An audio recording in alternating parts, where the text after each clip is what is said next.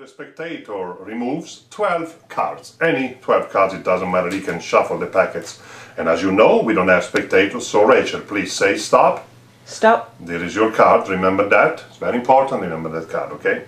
I'm going to cut the packet like this and cut the packet one more time. So your card is somewhere, I don't know, somewhere among these cards.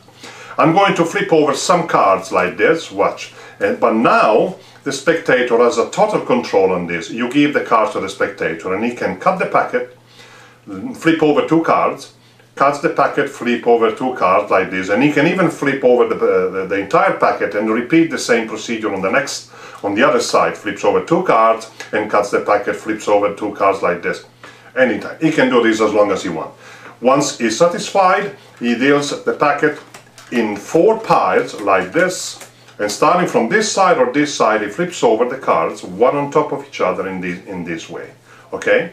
Rachel, what's, what's the name of your card? The King of Diamonds. The King of Diamonds, and yes, is the only card face up in the middle of the packet.